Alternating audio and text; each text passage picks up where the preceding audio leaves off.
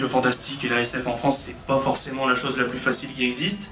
Et euh, donc voilà, ce soir, je vais vous présenter un film qu'on a commencé en 2012 et qui a été terminé au bout d'environ deux ans et demi de travail euh, relativement acharné.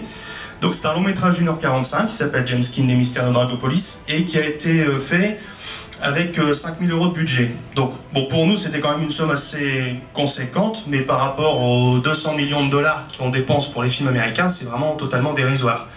Et donc en quelques chiffres, je peux résumer James King par euh, donc 5 000 euros de budget qui nous ont permis d'avoir 45 euh, décors différents, 35 acteurs, 110 figurants, 160 costumes. Euh, enfin voilà, on a essayé de faire vraiment du grand spectacle.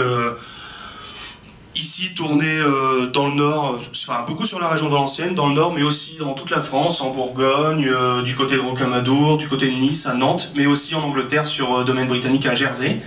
Et euh, on était super bien accueillis d'ailleurs, ils étaient vraiment contents qu'une production française s'intéresse à eux. Et euh, donc euh, voilà, bon, je vais pas m'éterniser parce que les discours c'est pas du tout mon, mon truc, je pense que ça doit se voir. Et je vous laisse découvrir tout ça et je vous souhaite une très bonne projection. Merci beaucoup.